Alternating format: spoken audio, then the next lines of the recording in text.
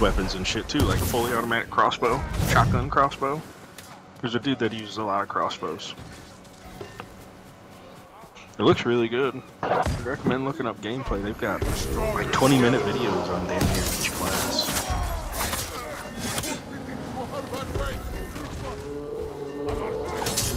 Ghost struck true.